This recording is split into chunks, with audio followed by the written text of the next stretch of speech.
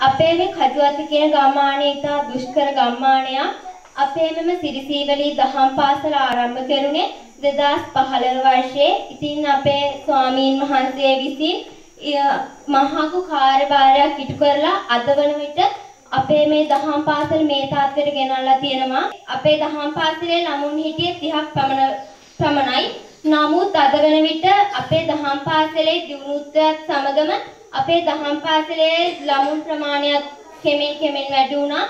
ඉතින් අපේ දහම් පාසලේ සිටින මෙම මගේම සහෝදර සහෝදරියන්ට ඔවුන්ගේ අධ්‍යාපනයේ කටයුතු වලට රුකුලක් වෙමින් අධ්‍යාපන අධ්‍යාපන භාණ්ඩ ලබා දීමට පැමිණි ඔබ සියලු දෙනාටම කෘතඥ වෙනවා. ඒක පන්සලට හාන්දරන්න දෙන්න.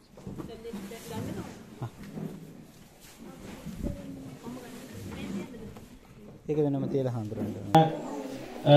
ඒ පරිත්‍යාගශීලී පින්වතුන්ගේ මූල්‍ය දායකත්වයේ අනුග්‍රහය තුලින් අපේ ගෞරවනීය ස්වාමින් වහන්සේලාගේ අනුශාසනා පරිදි සිද්ධ කරන දහම් පාසල් දරුවන් වෙනුවෙන් පාසල් උපකරණ ලබා දීමේ ඒ උතුම් සමාජ සත්කාරමය වැඩසටහනේ පින්කමේ ප්‍රධානම අංගය වන දරුවන් වෙනුවෙන් මේ පාසල් උපකරණ ලබා දීමේ අවස්ථාවයි දැන් උදා වෙලා තියෙන්නේ. සඳරු දෙනුවන් පුතණුවන්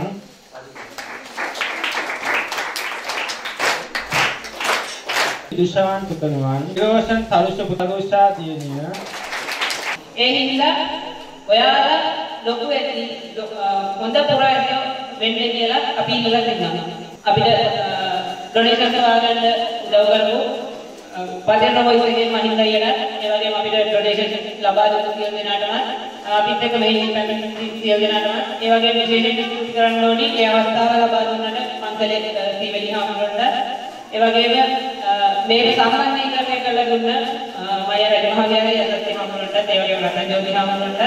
ඒ වගේම අපිත් එක්ක මෙතෙන් එකතු වෙලා ඉන්න නංගි මල්ලි හැමෝටම ගොඩාක් ස්තුතියි.